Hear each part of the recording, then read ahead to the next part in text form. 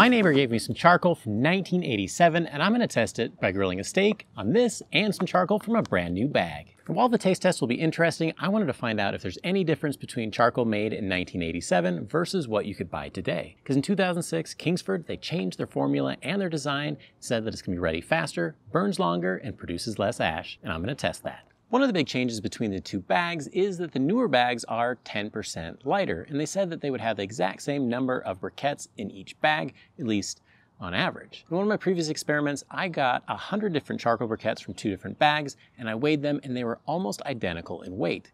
Even though the individual charcoal briquettes varied in size pretty significantly, when you took the average of 100 of them, they were about the same. So I did something pretty similar with the new and old charcoal. I weighed 50 charcoal briquettes and I found that the old ones are about 20% heavier, which is a bigger difference than the 10% that they change the size of the bags. Some people guess that the difference is because they're putting more wood char in the newer ones, which is lighter and therefore takes up just a little bit more space. But that would also mean that they're reducing the number of additives and other things that they're putting in that charcoal briquette. In order to test which one was ready faster, I put 20 briquettes of each in a pie tin. Not only did they change the formula, but they also changed the shape of the briquette since 1987. The older ones are completely smooth on both sides, but the newer ones have a big K on one side. If you flip it over, the other side has two parallel ridges. They say that produces more airflow and it also has more surface area, so that way it lights faster. Oddly enough though, that is not what happened in my test. The 1987 charcoal produced a ton of white smoke in the beginning, but it cleared up long before the new charcoal did and would have been ready to cook much sooner. Got up to temperature faster as well, which was a surprise to me because it goes against the marketing claims that they had made. But of course, that could be just because of the way I did the test. So in this test, the new charcoal is hotter and it's ready to go, except for the smoke.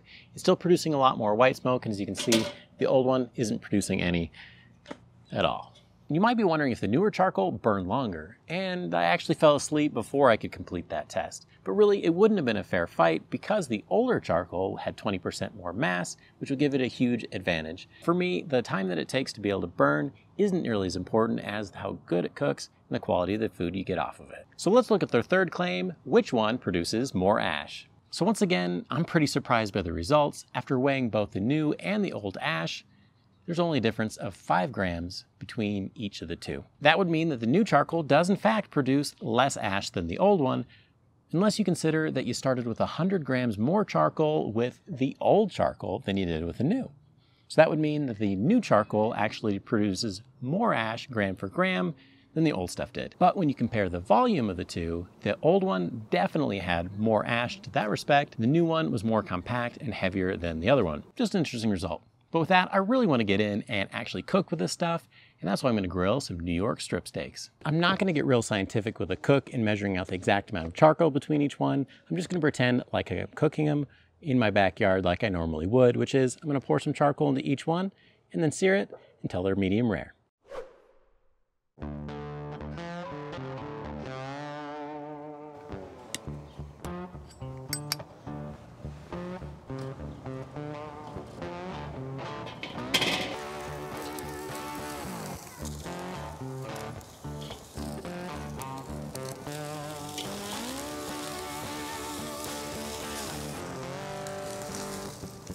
And if you haven't subscribed to the channel yet, go ahead and click that button because for every subscriber we get in July 2022, we're going to donate 5 cents to Operation Barbecue Relief so that way we can share the barbecue love to people in need.